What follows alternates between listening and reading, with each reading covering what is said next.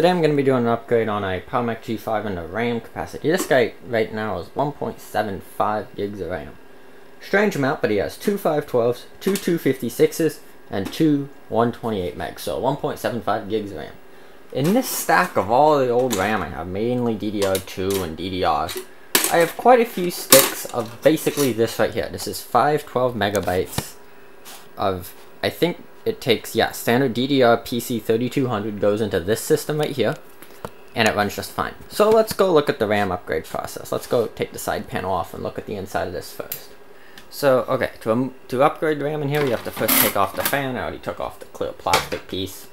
And in here, we see all 8 RAM sticks, which everything but the very low-end ones had. These two sticks here, they actually have to go in pairs are both 128 meg. I'm getting rid of these 128s because still small. And then I'm going to go look at all the RAM I have. So, here is my stack of RAM. You can see I have quite a bit of it I've just kind of accumulated, and I'm looking for the stuff with the big chips.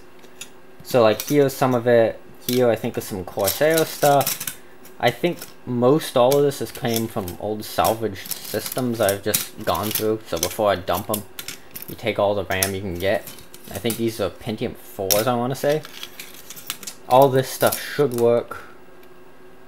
I don't know how big this one is. This looks like the stack of compatible stuff. So I he apparently here have four, five, six. This guy here one way you can tell how big they are is by the number of chips. So the big guys have chips on both sides, the medium ones have chips on one side, the really small ones, like these 128s, only have four chips on them, unlike the big guys which have all of them. So we got a pair of Samsungs here, we got another pair of Samsungs, we got another individual Samsung, and we got a pair of Corsairs. Yeah, so it looks like we have seven. They all seem to be 512. So let's go put that in and just see what it says. Yeah, so these are all 512. Oh, this guy, this guy I think is a 256 because it has a blank back versus the rest of these which have filled backs. So we're just going to put all of these in. This should be 3 gigs right here, plus the current, which we're going to get rid of the 256s, and then we should have 4 gigs in the system, which is quite a bit for this older system. So I'm going to go put that RAM in. Let's go reassemble, chuck in the fans, we have to put this fan in here now. You don't have to have the fan for it to boot, but if you put the fan in it, it's a little bit happier. And the plastic piece, which here's a little trick for G5s. There's a, right here, you see this little piece of colored stuff? This is what tells it if the piece is in there. You can shove a piece of paper in there and it won't rev up all the fans if you don't have this plastic cover and if you ever need to do that.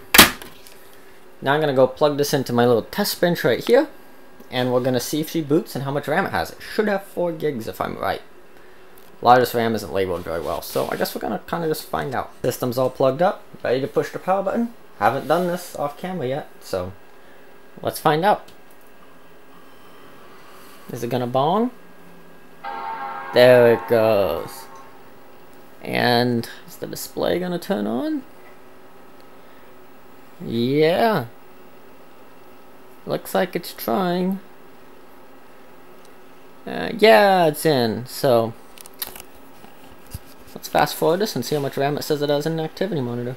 It seems to be reporting 3 gigs of RAM. So let's take a look in System Profiler and see what it says about what memory sticks we have in here. See if it left out a pair or something. So if we go under Memory, it says two of them are empty. Hmm. I know I have stuff in all the slots, so let's try reseating it and see if that makes it happy. Unless that's PC 2700. I don't know. I'm to try reseating it. So those DIMMs seem to be the Corsair ones which are rated for lower speed than the rest of them. So they don't seem to be happy. So I can either try putting the 256s in it, which I'm to try now, and hopefully those work. Because I moved the slots and now it's just undetected in another slot and says it's empty. So we're to try putting 256s in and see if we can get at least 3.5 gigs for now finally got it to work now. It has three and a half whole gigs with the 256s. Problem was it was PC 2700 PC, instead of PC 3200. and it somehow sets a speed to the 3200 speed instead of 2700 speed. I don't know how it determines this, but it works now. So, thanks for watching this quick little upgrade video on the G5. There might be more to come on it. I might try to get it to work with this SSD. Come on, auto exposure. Um, I was trying it earlier and it just wasn't showing up at all, so I might dork with it and see if there's some setting I'm missing or something. Because it's working with this hard drive, but not with this SSD. But that's kind of the quick little video for now, so thanks for watching. Bye.